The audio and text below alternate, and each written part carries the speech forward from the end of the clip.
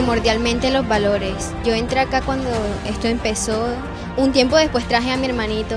Esto yo lo he sentido como un espacio además para yo despejarme de todo lo que tengo afuera, me distrae, me ayuda a mí. Que gracias por poner aquí el fútbol por la paz. Quiero buenos de Colombia.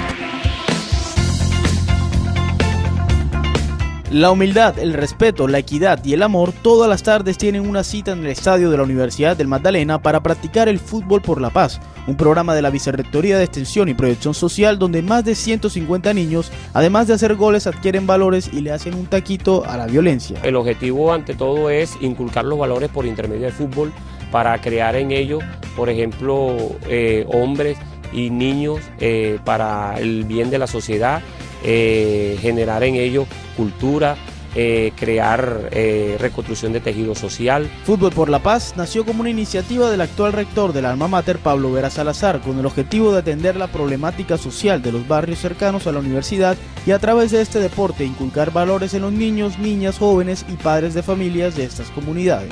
Felicitar al doctor Pablo Vera que ha tenido esa iniciativa y ha continuado para el bien de la sociedad y que la universidad participe no solo en los programas que tenga que académicos, sino con el favorecimiento de la sociedad. En años anteriores él fue uno de los creadores de este proyecto que ha beneficiado a todas las comunidades aledañas a este centro educativo. Hoy el programa tiene cuatro años de estar funcionando con tres categorías de edades. Aunque yo sea mujer, a mí también me gusta el fútbol. No siempre todas las mujeres no pueden hacer un deporte que los hombres pueden hacer. También las mujeres también pueden hacer deportes. Niños y niñas de 5 a 17 años que reciben la orientación de entrenadores egresados del programa Tecnología en Educación Física, Recreación y Deporte de la IDEA quienes aportan todos sus conocimientos en el desarrollo de este proyecto que liga la amistad, el fútbol y la paz.